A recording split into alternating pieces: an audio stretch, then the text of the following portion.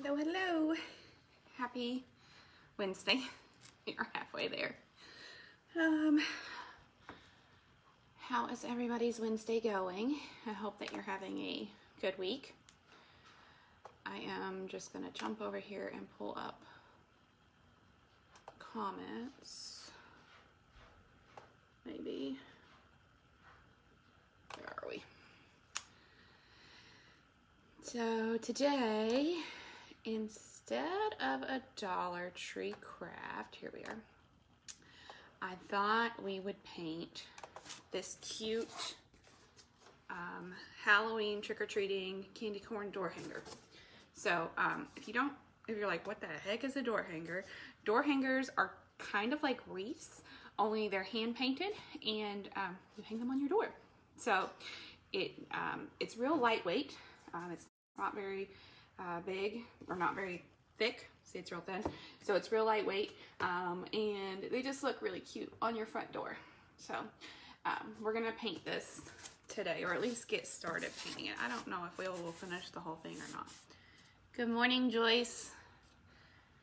How are you today? So, um, to start with, I'm gonna make sure you guys can see it. I believe you can. I'm gonna start painting the background. I've got a little friend here. Excuse me, friend, go away. she wants to paint with us. We're gonna paint the background purple. So um, this is Deco Art Lavender. I'm just gonna paint this background. So let me know how your week is going so far. It's Wednesday, we're halfway there. Good morning, Connie. Morning, Leslie. I am ready. One of my kiddos is on fall break this next week, and one gets to do e-learning for two weeks. Yay! Um, we'll survive, I guess. So that is going to be so much fun. Just e-learning is not my thing.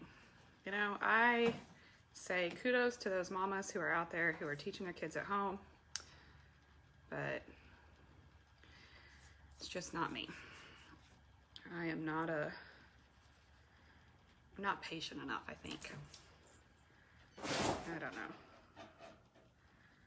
By the end of the day, I'm just, I'm done. I need, I need mommy time. so I'm, I'm ready for next week though, because I am going to go um, help my grandma paint her house. She wants her living room painted, so I'm gonna go help her with that. Hopefully get caught up on some orders, maybe start working on some Christmas stuff. So that's kind of my fall break plans. I'm not really going anywhere, just hanging out. And uh, I'm sure my my younger kid, who the one who doesn't, who does actually get a fall break, uh, I'm sure his plan is to play video games all day. So, you know, that's when you're when you're nine, you can do whatever you want, right? So um, we're painting this Halloween door hanger. Um, these I cut myself. So I use um, Revolution plywood and um, cut the blanks myself. So if you didn't know, I do offer um, paint parties with these door hangers. So um, you can get a couple friends together and we can do a paint party um, so if you're wanting more information on that, you can shoot me a message and I can send you information. We can do it virtual. So if you aren't ready to have people over, um, but you're looking for a fun way to have a girls' night out, shoot me a message. We can always do a virtual party. Um, if you are ready to have a few friends over and you want to do that, we can um, we can do a party at your house as well. So, and I don't have to come if you have a group of people you're kind of hanging out with and you know they're safe, I can always um, just do myself virtual and and you guys can be at your house. So we can, there's lots of way to make that work in in COVID days. So just shoot me a message and we can figure something out if you're interested. It's a great time of year to um, to be doing those kind of things. Everybody likes to create as the holidays get closer. So just painting the whole background here well, not the whole background, so everything but these candy corns over here, purple. And I realize that it's upside down to you, but I am not that talented of a painter yet um, to where I can paint upside down. So Sorry. You just get to look at it upside down and backwards too, right? Because Facebook makes everything backwards. I don't know how to fix that. I should look into that because I know there's a way to fix it. So let me know what your fall break plans are. Are you getting a fall break? Are you, ooh, you have plans? Just relaxing at home and doing a lot of nothingness, that's okay too. I am also um, offering the kids art kits, which is just the candy corn. So it's just one candy corn and it's bigger. It's about this big. Um, so also offering those if you're looking for something for your kiddos to do on fall break. I dripped purple paint over there. Um, that's kind of a nice little craft. Should take an afternoon unless you just have crazy fast painters. Um, so keep them out of your hair for a, an hour or two. So if you're interested in those, uh, shoot me a message. We'll, we can get those to you. All right, so just painting this whole background purple. Um, when you're painting, you do want to try to keep your strokes going the same way as much as possible. So you'll see around the candy corns, I kind of went um, vertical instead of horizontal. But I am going back over those brush strokes to just make sure they look neat. It's just kind of like coloring. You want to make sure your brush strokes look neat because while you're not going to see all of them when the paint dries, um, you probably will still be able to notice if you don't keep your brushes going the same way. And it's okay if some of your wood grain shines through. Um, you may have to go back and add a second coat. This purple looks like it's covering pretty well, so we might be okay.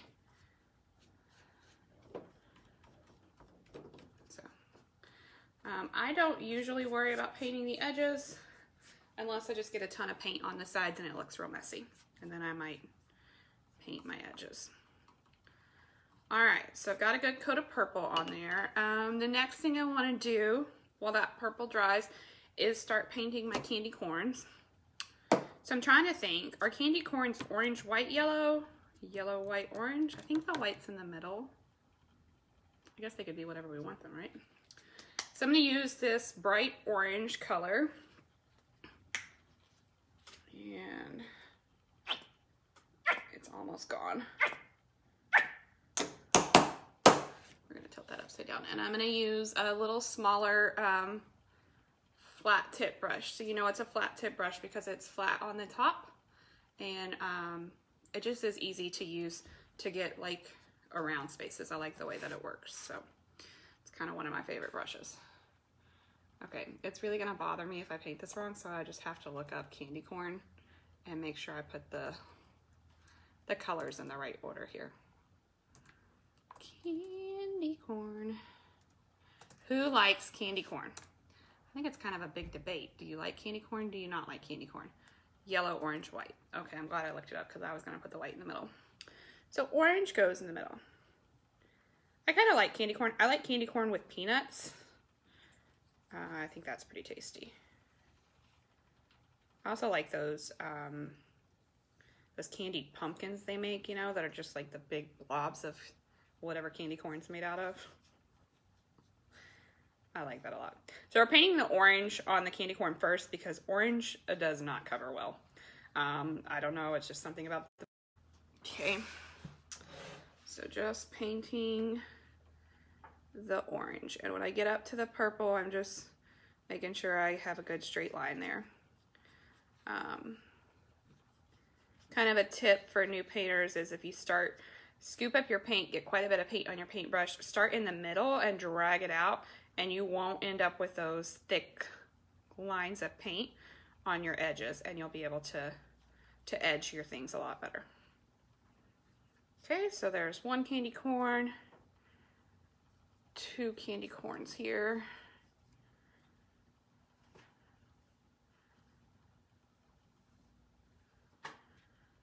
I apologize if I feel out of if I seem out of sorts today. I have a really bad migraine today, but I still wanted to do this painting, so I thought we'd jump on here and do it anyway. Morning, Mary. How are you? Don't forget to um, sprinkle the video. You can be entered uh, for a chance to win some Happy Mail. Just type in the comments sprinkled. I do appreciate that. It helps more people find my stuff.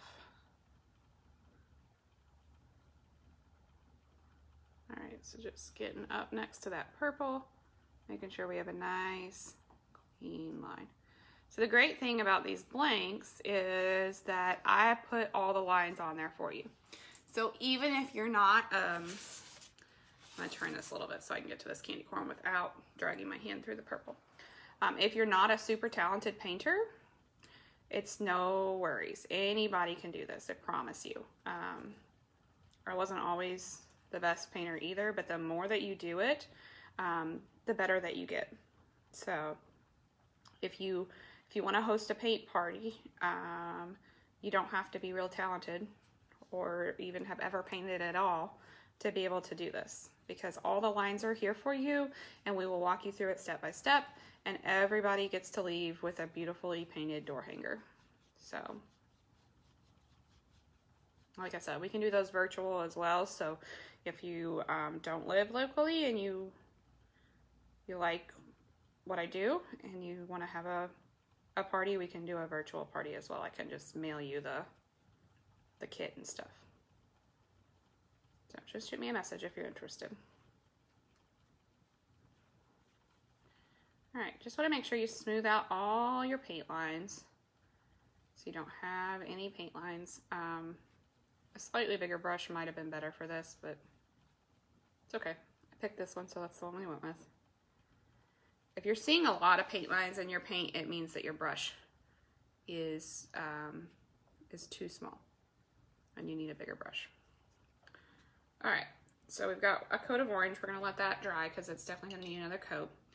Um, we will do yellow.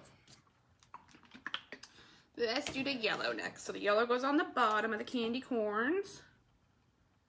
Just put a little yellow paint here on our plate. And this is just bright yellow Deco Art paint. Okay. Go back over here. Um, I'm gonna use a little bigger brush this time. So again, it's a flat tip brush, but it's just a little bigger than the last brush. Which part did I say the yellow went on? I don't forgot. The bottom. Yellow goes on the bottom. All right. Well, that's not good because that's where I got that purple, but I guess that's better than the white going down there, huh? And yellow is also one of those colors that's probably gonna need two coats. Um, you could paint like underneath of here white or um, a neutral color first, but I didn't. So this is what we're doing. So just painting this yellow.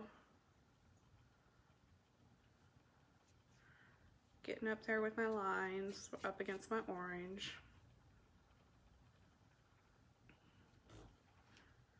And over here against my purple. By keeping your lines neat as you're painting, it saves you from having to go back up and do a lot of like cleanup and stuff later.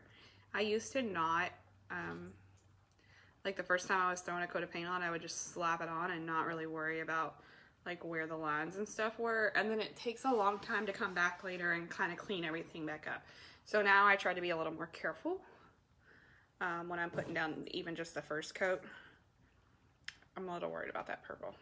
We'll see what happens. I might have should have tried to take it off. It's okay. Um, so anyways, if you make sure your lines are good and neat the first time, then you don't have to come back and try to clean it all up with, with more paint. So, so just putting a good coat of yellow on here. You want it to be um, thick, but but not so thick that it's never going to dry, okay? If you get it too thick, you're going to end up with crackled paint and it's not going to dry and it's just going to look bad. But you don't want it so thin that you have to put like 27 coats on here either. So.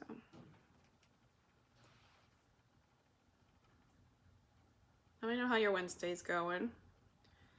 I was taking Oliver to school this morning and he was, um, we were talking about it being Wednesday. Apparently he says Wednesday is the worst day of the week because it begins with a W and worst also begins with a W. I'm not sure why Wednesday is the worst day of the week, but he insisted that it was.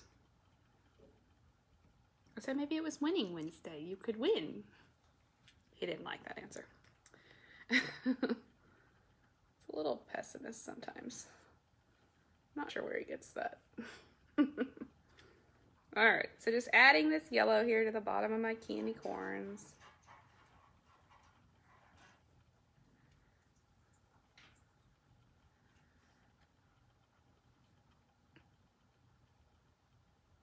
I see a little spot of orange I missed right there, so we'll come back and touch that up. And this is why I like the flat tip brush because when you get to the edge, you can take it um, up and down like this and create nice lines up against whatever you're trying to, to paint, if that makes sense. So then you don't have to worry so much about getting out of the lines or whatever. Okay, so I think we got a good coat of yellow on there. I'm gonna put just a little more over top of this purple because it's gonna take some to cover, I think. Okay, um, I'm gonna rinse that brush out and we're gonna paint the tops white.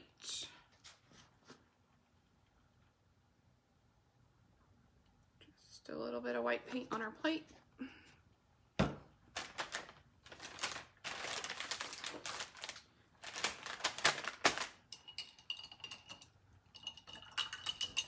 Sure I get all the yellow out of this brush because I do not want any yellow on my white paint.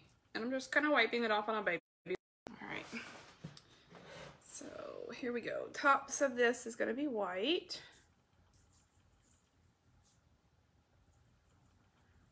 Just like this.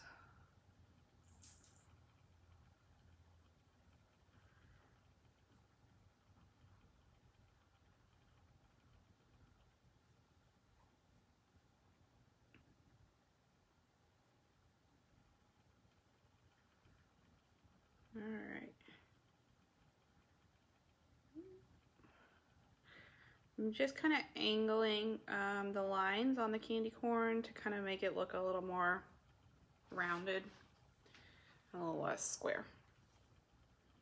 Or triangular, I guess, is the shape that this is. But... All right, so bringing that white down.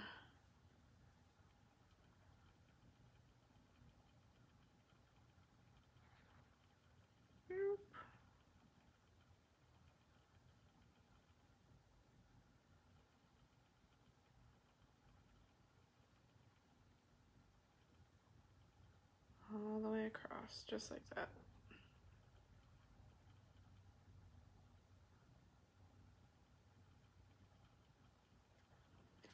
And the top is also going to be white over here.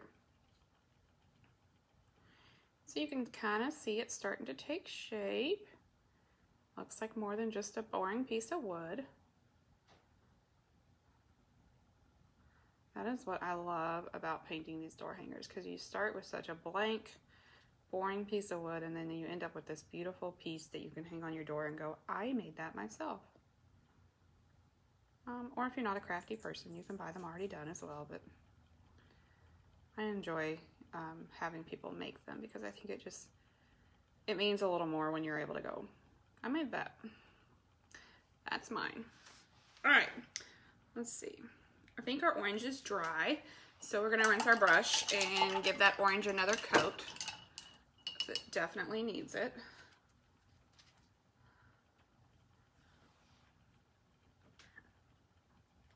I don't know what it is about orange, but it just does not cover well.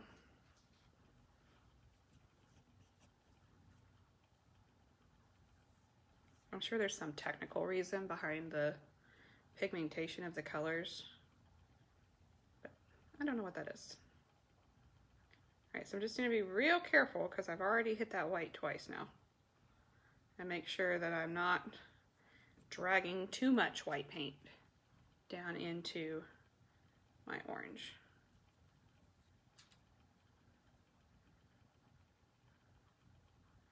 And so as you paint, you kind of cover up the lines that are on here. But um, I'll show you here in a little bit. We'll go back and add some of those lines in um, really easily so that you can see them and go over them with um, either a paintbrush or a paint marker. Sharpie works well too. So if you're a newbie, it's real easy then to add those fine details back in with like a Sharpie. Um, and make it look really, really cool. Sometimes people are a little unsure as if they can add those details in themselves, and it's really not that hard. All right, paint this one. One more coat of orange.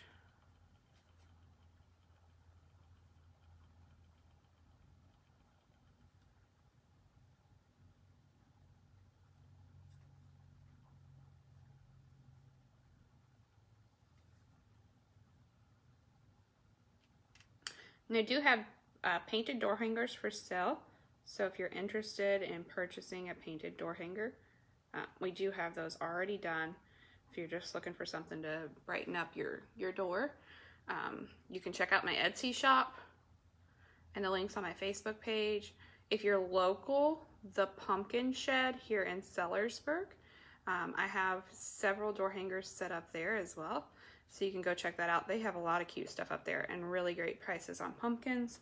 Um, so be sure to check out the Pumpkin Shed here in Sellersburg um, if you're looking for some fall decorations. Okay.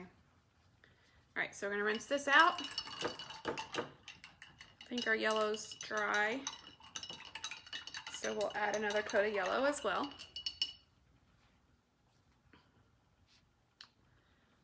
Here we go. You guys see there? There we go. Try to make sure I stay on the camera at least with what I'm doing so you can see. Alright, so just painting the candy corns.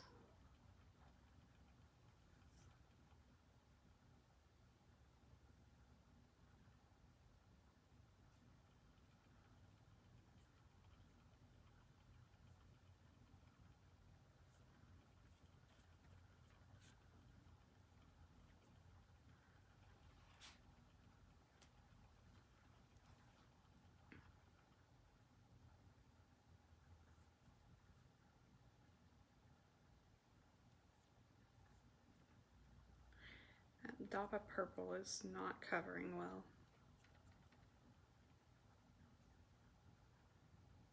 Let's see what we can do with that.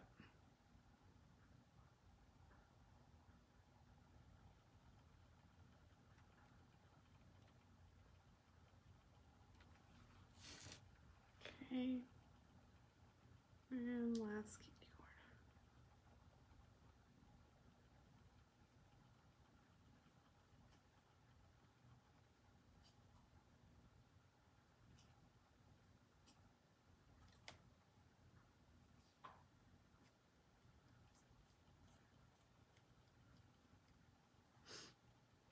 just like that. All right, while that dries, I want to give this purple background a little more interest. So we're gonna paint, or I'm gonna paint the words um, trick or treat on here in a nice Halloween green color. But I kind of think it needs a little more than just the purple. So we're gonna add polka dots. This will be good. So um, these are Martha Stewart paint daubers, I think is what they're called. I don't know. Um, but you can buy them at the craft stores like Michael's and you get like a whole pack of them, all different sizes for like, I think it was $7. Seems right. They weren't terribly expensive and you can use a coupon. So um, this one is one and three quarter inch. We're going to use this. So to use these, you just dip, bring this over here so you can see. You dip in your paint and you want to offload. That's what this is called. So you just take and you put on another area of your plate or palette or something um, to kind of get most or some of the paint off. And then when you dip it onto your um, picture or painting, whatever you're doing, you're just going to, um, um, the first one's always the hardest to put on, I think. You're going to twist a little. So you're going to push down and twist, and you have like a perfect, perfect polka dot. So I'll show you again. Um, I'm to do one like half off, like this. Um, we'll put another one here, twist.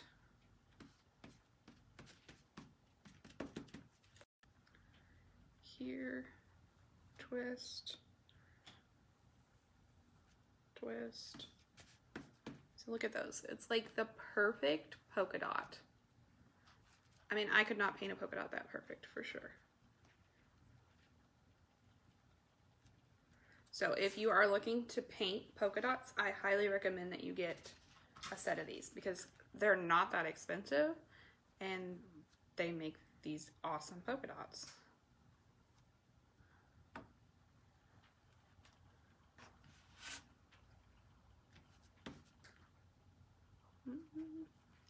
And part of what helps make polka dots and things like that when you're adding interest to pieces like this is to have them kind of half hanging off so they don't all look so perfect.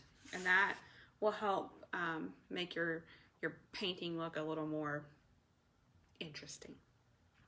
Um, so here in a minute when these candy corns dry, we'll put some polka dots over on this side. They're still really wet, so I can't do that just yet. Or I'm gonna smear paint everywhere. All right, so we got, got our polka dots. I'm just kind of pressing back down over some of them to get out because they do kind of leave some air bubbles sometimes. Um, but if you just kind of go back over it, you can kind of pop any of those little bubbles that pop up and straighten up any edges you need to. All right, just got polka dots. Look at that. Look at that. I love the polka dots. Polka dots and buffalo plaid. You cannot go wrong, right? Kind of waiting for this to dry a little bit more. Um, I don't really want to get out the hair dryer. It's so loud. We may have to. This needs a little more yellow paint right here. That purple mess I made.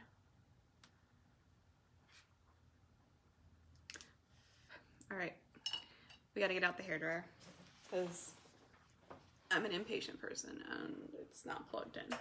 We gotta plug the hair dryer in.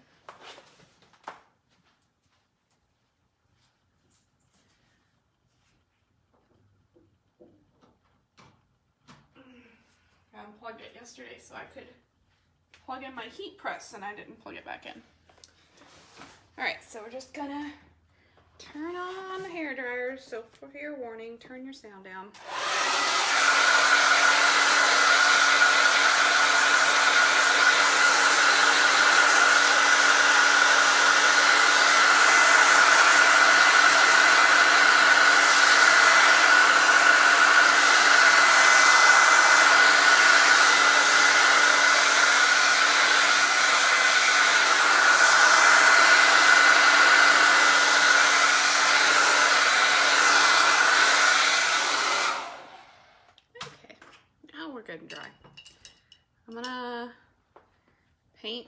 This one again.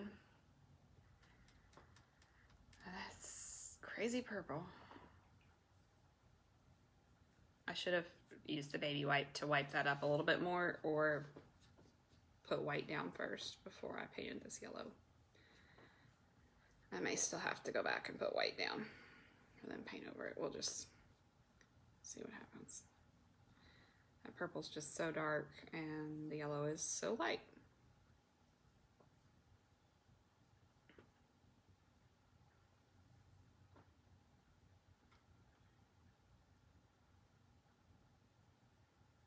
It is covering slowly but surely.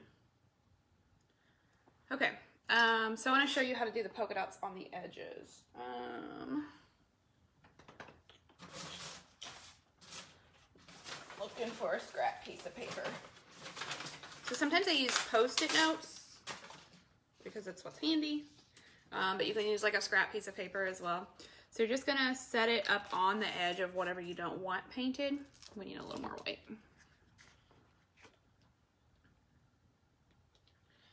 And then you're gonna take your your dauber. I'm sure that's its technical name. And don't forget to offload and get most of that paint back off so you don't end up with goop of paint on your project. And then um, you're just gonna press it down, twist, just like we did last time. And so now you have like a half, a half a polka dot, three quarters of polka dot, whatever you wanna call that.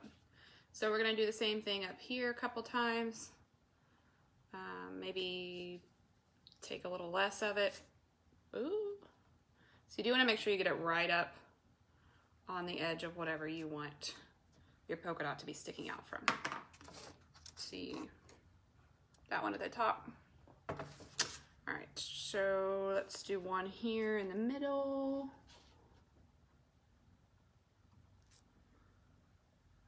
And by varying like how much of the polka dot you're putting on the piece, it also helps them look a little more realistic. So I put one in the middle too. Just added three there on the sides um, to kind of give it a little more. So if you didn't do that and you just put all your polka dots in the middle, it would look okay. It's just not gonna have that same effect as like having some hanging off does. Um, it just kind of makes it look more like a continuous pattern rather than, oh, I threw a whole bunch of polka dots right here in the middle of my piece. Okay? All right, so I'm gonna go ahead and show you how to do these candy corns. Um, and um, I'm gonna show you kind of a beginner way that you can do it. Um, a lot of times I'll use a paintbrush to do the fine details with, um, but if you're not comfortable with a paintbrush, you can get paint pens or um, Sharpies work really well too. Um, so it, just kind of gives you a little more stability. Um, sometimes you're a little, it's easier to handle something that you're used to using like a pin. So we're just going to trace around our piece with the pen. I shook it up, but it's kind of the ink. There we go.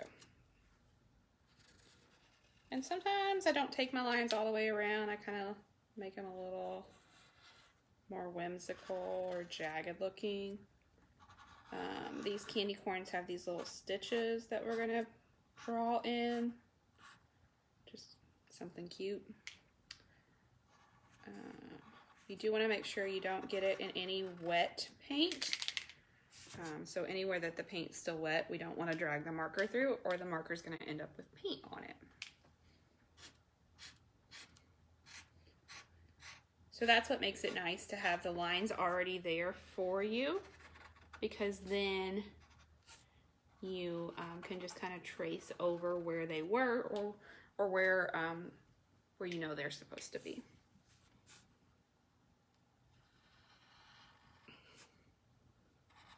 And paint pens come in all different sizes. So you can get really thick lines or really thin lines, depending upon what you want. Okay, I'm not going to touch that candy corn because it's still a little wet. I am going to kind of trace the outline of my door hanger just to give it a little more whimsy and make it pop a little bit.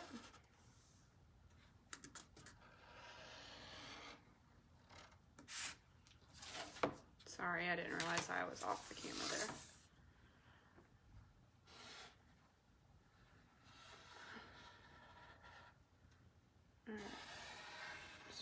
Tracing around the outside.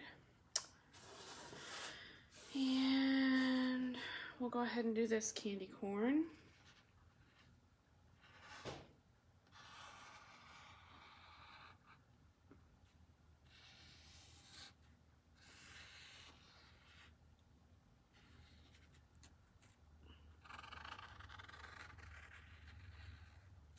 The great thing about adding um, like the fine details like this too is you can cover up your paint lines and it just looks so much neater when you're done.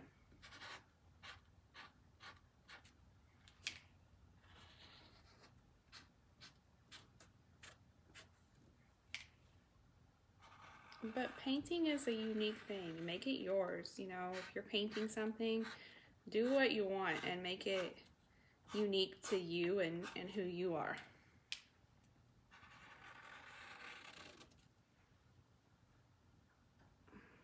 I think that one's, I still have to figure out what I'm gonna do about that, that spot. But, so I'm just gonna kind of go around it for right now. Maybe not. It's still wet. Just kidding. Just kidding. All right, so whoop, I'm gonna put stitches here. So the last thing that I will do when I make sure my paint is good and dry is put um, my letters on. And um, so I'm gonna do that and then I will post a picture on our page here later so that you can see it. Um, don't forget to sprinkle the video. Stop by and visit our page, Redheaded Princess Designs, um, for all the things, t-shirts, um, door hangers, paint parties, all those things. So stop on over and check out what we have to offer. Um, we also have an Etsy shop, so you can go over and visit our Etsy shop, RH Princess Design, no S on the end. Etsy only lets you have so many characters, so we had to shorten it. Um, but you can check out our Etsy shop, and the link is in our Facebook page as well. Um, but stop on over there. Let me know um, that you've stopped by. Be sure and follow so that you can check us out every time we're live. All right. Thanks so much for joining. Happy Wednesday. Have a great day. Bye bye.